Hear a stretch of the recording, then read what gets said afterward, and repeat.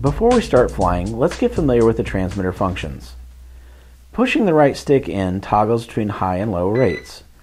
The right LED will be orange for high rates and blue for low rates.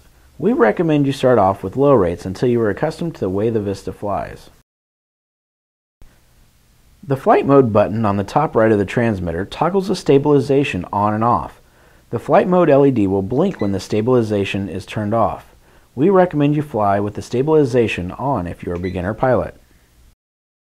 The flip button on the upper left will make the Vista flip in the direction you choose. Press the flip button, then move the right stick in the direction you want to flip. Place the Vista on a smooth surface with the nose pointing away from you. When you're ready to take off, slowly advance the left stick until the Vista lifts off the ground. Climb to about eye level and lower the throttle to stay at this height.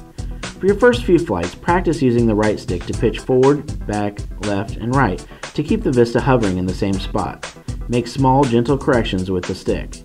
Use the left stick to rotate the Vista. If it's a little breezy out like in this video, then the Vista may blow around a bit. We suggest flying on calm days if you're just getting started.